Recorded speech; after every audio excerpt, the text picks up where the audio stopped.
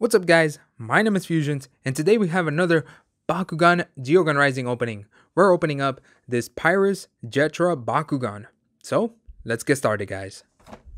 That's right guys, today we're going to be opening up this Pyrus Jettra Bakugan. Shout out to Jett Kuso of course.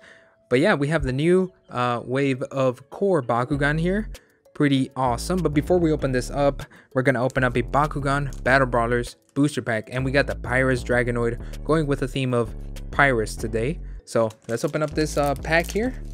Let's open up this pack and let's hope we get a Mac. I think that's the line that I said in the other video. But yeah, I want to get a Mac. It is a Pyrus card, so maybe all this Pyrus is going to help out. Let's see if we get it. Liquid Strike. Tides, that's a good good card right there. Repel Pyrus. Think Again. Razor Wings, Ventus Moonbeam, Hyper Fangzor, Diamond Pegatrix, we got Hypertrox, just a super rare. Then for the Hex, we have Umbro Slash, which is a rare Hex. Nice, nice, nice. But not what we wanted. But now let's get started with this Bakugan here. We got the Pyrus Jettra Bakugan. Pretty cool.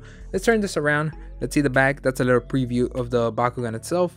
And here we have the wave that it comes in. I think I have all the Bakugan now, except um, the RLS Aratoa and then the Diamond Vilok. So I'm still looking for those two, but the rest, I think I have all of them. So all those videos are going to be coming soon. Make sure to uh, subscribe and stick around to the channel. We have a character card, no action card in these core Bakugan. We have a gate card and two BakuCores. So let's open this up and let's see this Jettra. All right. So, first, like always, we're going to leave the Bakugan to the end. And first, we're going to take a look at this little bag here and all its contents. All right. So, we also don't have like a, uh, like a checklist or like a guide on how to play Bakugan. So, yeah, these core uh, Bakugan have less stuff for sure. We got double, ooh, double shields. Okay. We got a Uncles and Pyrus get plus 400, so at least Jettra can use this one. And then, okay, we have the same one uh, as well. So two uh, equal um, shields here. Okay, so first, let's see the gate card. We have an Enoch, Darkest Enoch, gate card number two. Um, yeah, nothing I could say about this one. I don't know if you guys like to have million Enochs duplicates gate cards. I, I, I, I don't. I really don't. I I hope the new ones come in soon because I'm getting just lots of duplicates. But now let's take a look at the character card. We got Pyrus Jettra here. Double shield. Ooh, looking pretty cool there. I actually like that design. It looks awesome. It's uh like a, I'm pretty sure it's like a squid or something. Mm, yeah, or like a jellyfish, actually. That's why it's Jettra, right? Like jelly, jellyfish? Yeah, maybe. We have 500 B power for attack, and it has an ability if you do land on a shield, which it comes with two, uh, you get plus 400 B. So if you land on the best shield, which it actually came with, this one right here, and then you add everything up, you'll be at 1300 and with 4 attack, which is actually not bad. Uh, it's not the best Pyrus, but it's actually not bad for a core Bakugan. And just, you know, it's it's it's pretty good, I would say. It's nice. It would be one that I would want to play with, but like I said, it's not the best competitively, but it's a cool one. It's a good one. Um, now let's take a look at the Bakugan itself. Let's look at the Bakugan. Let's see. And here it is. We got Jettra here.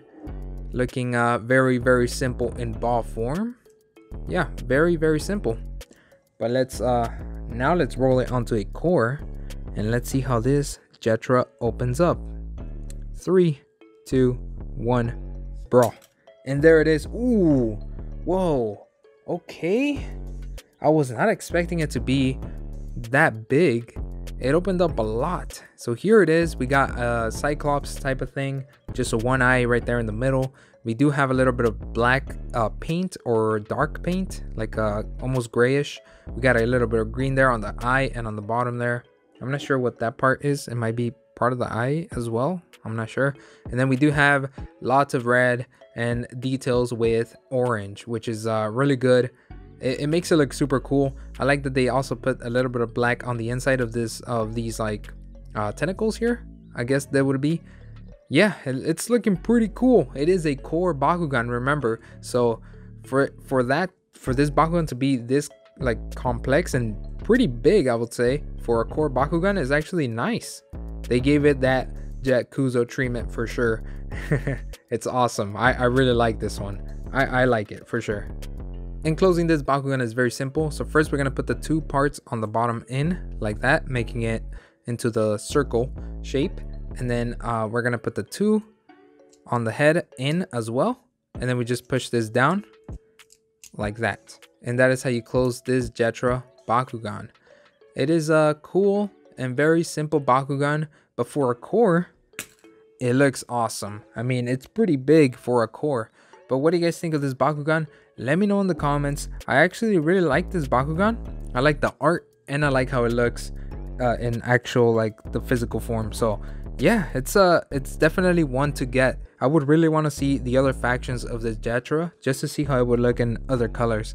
But what do you guys think? Let me know in the comments. Make sure to hit that like button if you enjoyed the video, subscribe, and stay tuned for more Bakugan content. Uh, I got lots of stuff coming up soon, so don't miss any videos. Thanks for watching guys, and peace out.